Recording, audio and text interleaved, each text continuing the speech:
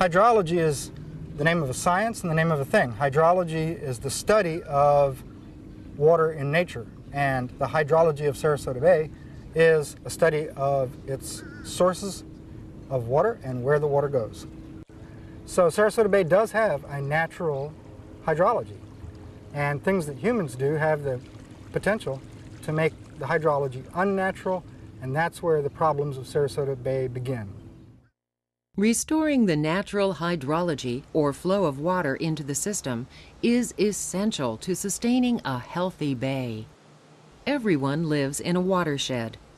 A watershed is the land area that contributes runoff to a water body, and the Sarasota Bay watershed has seen significant changes due to the pressures of an ever growing population and the development that follows.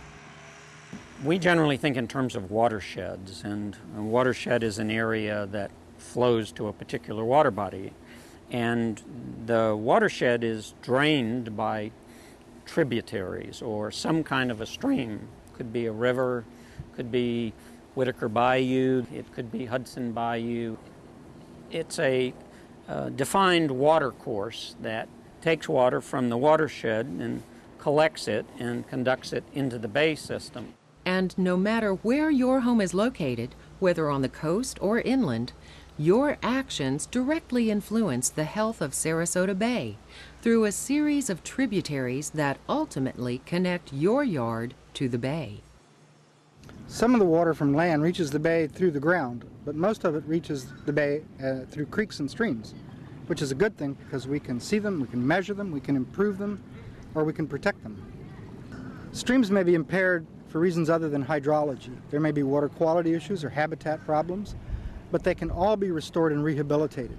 The key will be citizen participation. Historically, streams in Sarasota County and elsewhere in Florida have divided neighborhoods. What we have to do is reorganize neighborhoods so that the stream is the central feature rather than their boundary. This way, more citizens can work together and uh, get local governments to do what it's going to take to rehabilitate their waterways.